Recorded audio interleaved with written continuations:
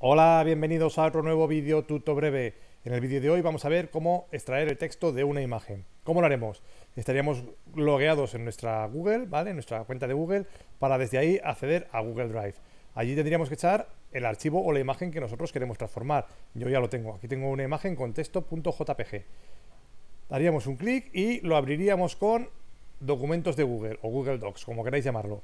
Hacemos clic, le lleva un ratito, depende este rato de qué tipo de fuente sea, cuánto texto haya y demás, pero lo abre más o menos rápido. Una vez que lo abre, veis que lo primero que hace es ponernos la imagen que, es en sí, pero si vamos más abajo, ahí tenemos todo el texto que constituye la imagen, ¿de acuerdo? Este lo podríais coger, copiar, cambiar de formato o lo que estimaseis más oportuno. Espero que os haya sido de utilidad el consejo. Muchas gracias.